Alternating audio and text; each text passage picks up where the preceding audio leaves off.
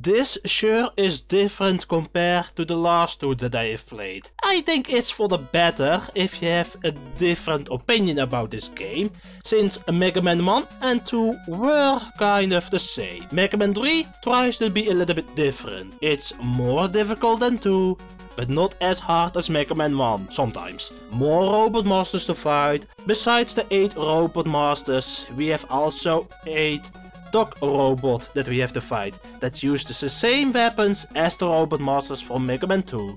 Good luck with their weaknesses. Breakman is also in here and you have to fight him several times in several stages at a final encounter before you go to Wily's castle number 3.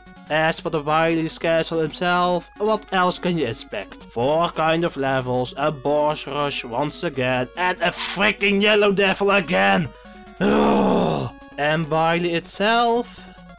So weird that one of the worst weapons is very effective against him. With a story ending where Wily dies and we get saved by Breakman, who was Proto Man and the older brother of Mega Man. Oh, and we have also have a helper in this game. Rush the Robot Dog. Now he will help you with a platform challenge instead of item 1, 2 and 3 in Mega Man 2. And Mega Man himself is also upgraded. You can now slide, and trust me, it's one of the best things they have added into the series. Nonetheless, I'm very happy with Mega Man 3.